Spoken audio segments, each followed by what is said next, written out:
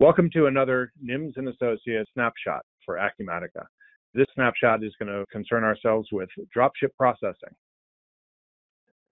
Our agenda for this snapshot will be discussing what a dropship is, how to create a dropship in sales order, how to create a purchase order from the dropship, how to receive a dropship purchase order, and ultimately invoicing a dropship sales order. What is a dropship customer order? A dropship customer order is typically a sales order that is going to be shipped to the customer, but directly from the vendor. So it's going to go from the vendor to the customer without coming in through our warehouse. Creating a dropship sales order or a sales order dropship line.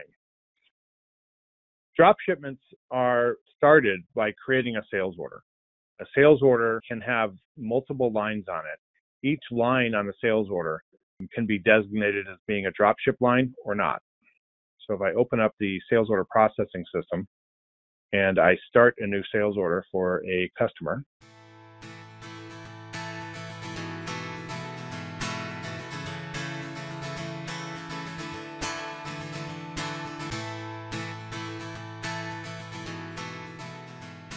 and then add an inventory item to the sales order.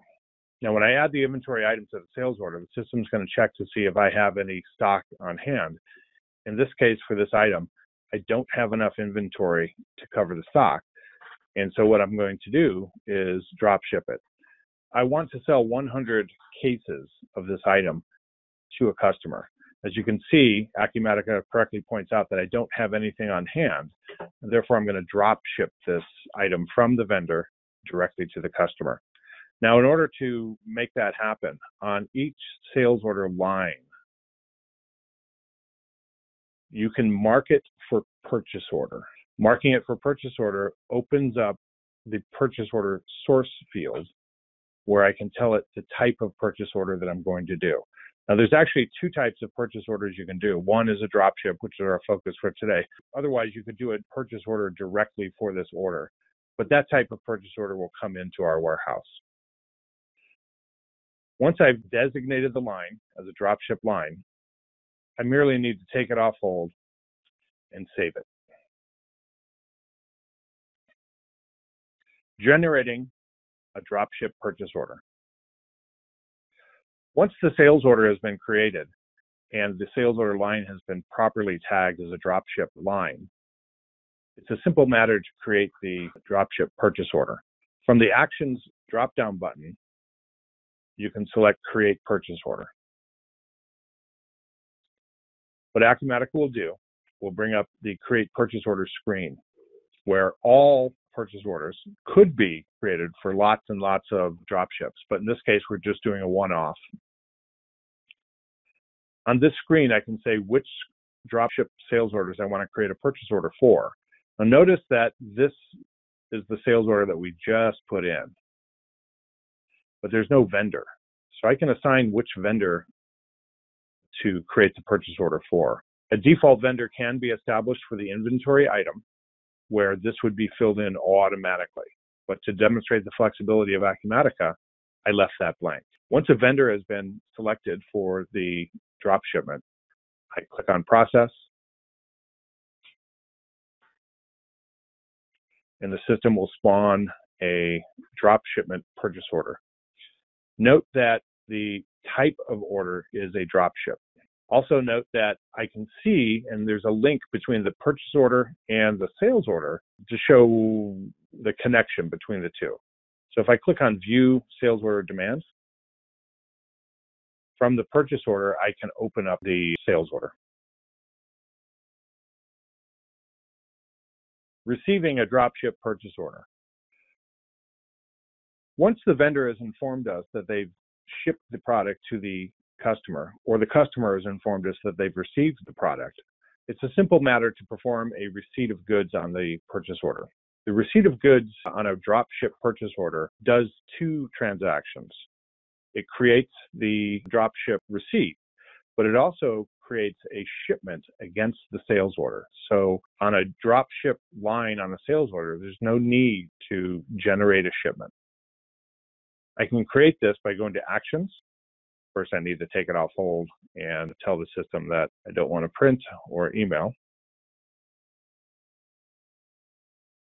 Once that's been done, I can go to Actions and I can enter a purchase order receipt.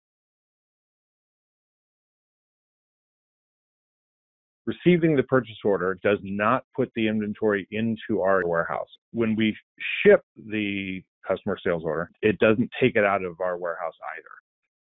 These are special types of receipts and special types of shipments. When I release this receipt, you'll see that not only is it performing the receipt of goods against the purchase order, but it's also creating a shipment against the sales order. I can demonstrate that by going back to the sales order. And we can see that the quantity on order and there's a quantity on receipts. But if I looked at the sales order demand, which would allow me to pull up the sales order, I can also see that a shipment has been spawned or created automatically by the PO receipt.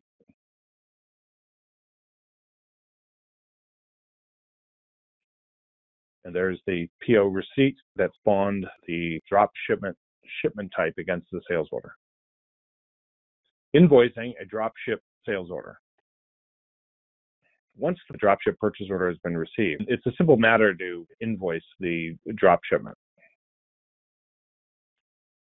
In Acumatica, you would go to process drop shipments. And in process drop shipments, there's a option for creating and preparing invoices from drop shipments. If I select that, the drop shipments that have been received appear, allowing me to prepare the invoice. Once the invoice has been prepared, normal invoicing processes will allow you to print or email invoices to customers and then ultimately release them.